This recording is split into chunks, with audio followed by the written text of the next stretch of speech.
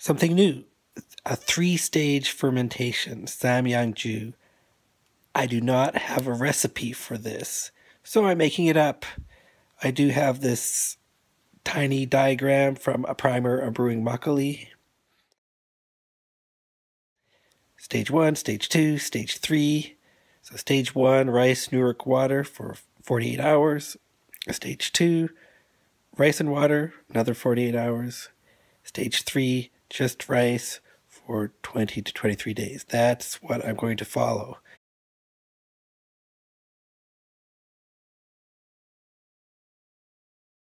Day zero, making the juk uh, sweet rice flour, 200 grams, a liter of water under medium heat. Keep on stirring, stirring, stirring, stirring, stirring, stirring until it thickens up. It'll get really thick and smooth. Then uh, takes forever to cool down, so put it in an ice bath and stir it every once in a while let it cool down. While you're waiting for that to cool down, get your Nuruk ready.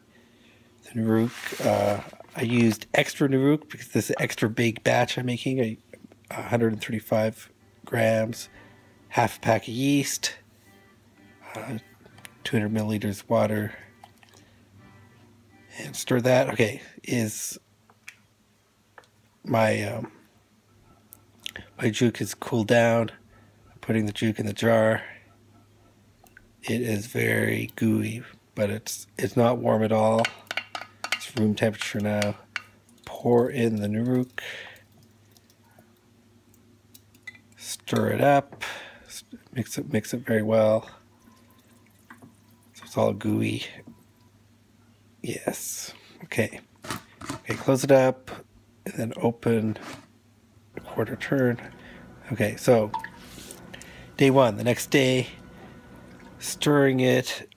The mixture is, it's all separated now. It's not sticky. It's completely separated. It smells really strongly of Nuruk. It's, it's fermenting. It's bubbling. Stir it twice a day. Okay, day two.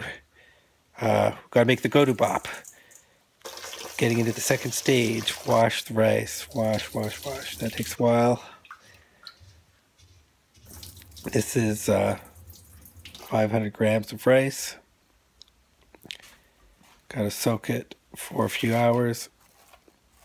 Then drain it 45 minutes at least. Uh, wash the, boil the cheesecloth. We're going to steam the, the rice that we've soaked and drained. We're going to steam it now in the cheesecloth for 45 minutes. Wrap it up nicely and steam it. Here goes. I have to add water every once in a while so it doesn't um, boil out.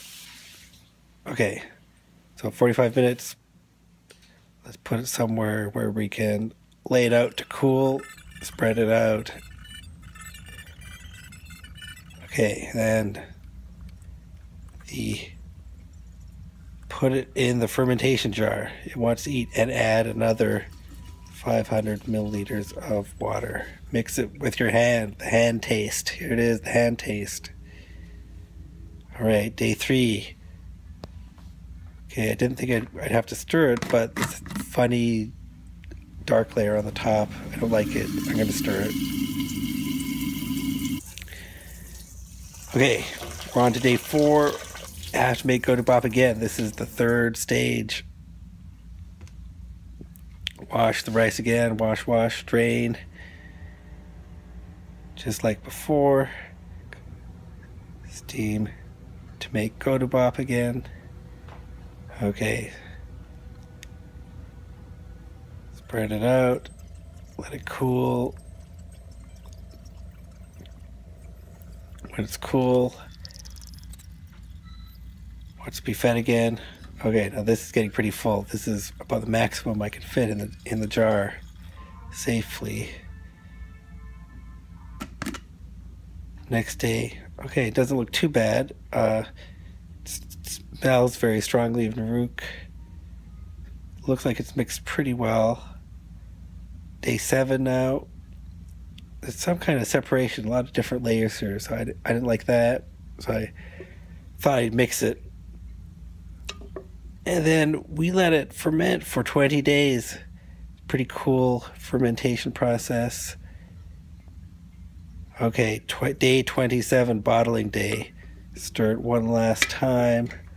Put it in the strainer. Oh, this works great. This works great. I can just pour the whole jar in if I if I give it enough time. And I start bottling as I go so I don't overflow. And I, I'm going to get everything out of it. I'm going to squeeze this and the remains there, the lees, it's just, um, yeah, it's well fermented. It's fermented for a long time. I got about three liters product at the end of it. The Wonju, there it is, looking great. There's the Cheongju, pretty clear yellow. And there's the Makgeolli I like it very strong flavor though. I don't know the Nuruk I used this time. I can really, really taste it strong. So it was a little harsher than I expected. Thanks for watching.